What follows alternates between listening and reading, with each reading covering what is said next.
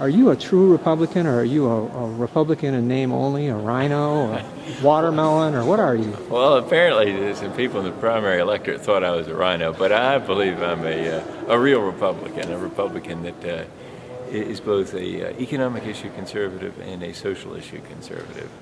Um, had a 93 American Conservative Union rating, 100% Christian Coalition, 100% National Right to Life, A with the NRA, zero with the ADA, Americans for Democratic Action, a liberal group, and 23 by some mistake with the AFL CIO. I demand a recount. I wanted a zero. But Inglis does accept the scientific consensus on global warming.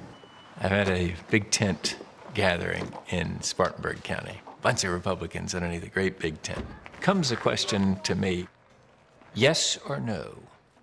Do you believe in human causation on climate change? Well, I had a bad habit of answering questions, so I said yes. Boo, hiss comes the crowd. I was blasted out from underneath the tent. Um, and so, I mean, there, there were a couple hundred, 300 people there. I mean, it was intense. No!